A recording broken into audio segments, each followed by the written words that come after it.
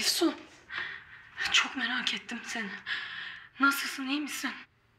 Nasıl mıyım? Nasıl olayım? İyiyim Bahar. Nasıl olayım? Bebeğim öldü. İçimde kocaman bir boşluk var. Nasıl olayım? Nefes alamıyorum. Gözümü ne zaman kapatsam o an geliyor aklıma. Nasıl olayım? Bir daha anne olamayacağım. Her şeyi kaybettim. Seni kaybettim. Bebeğimi kaybettim.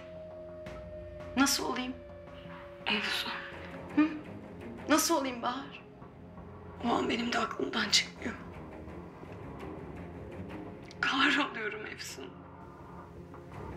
Çok üzgünüm kardeş. Keşke yapabileceğim bir şey olsa.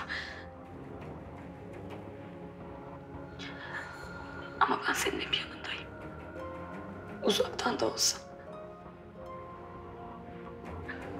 O zaman neden ittin beni Bahar? Ha? Neden ittin beni? Ben sana sadece yardım etmeye çalışıyordum. Ben seni korumaya çalışıyordum. Hayallerimizi gerçekleştirmeye çalışıyordum. Neden ittin beni Bahar? Neden ittin beni? Neden ittin beni? Benim çocuğum şu an neden yok Bahar? Neden yaşamıyor benim bebeğim ha? Ha? Neden ittin beni? Bahar cevap ver. Neden ittin? Neden ittin beni? Cevap ver. Yeter bu kadar tamam. Sakin ol. Sakin.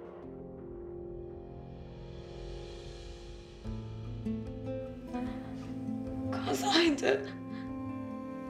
Bile bile yapmadım.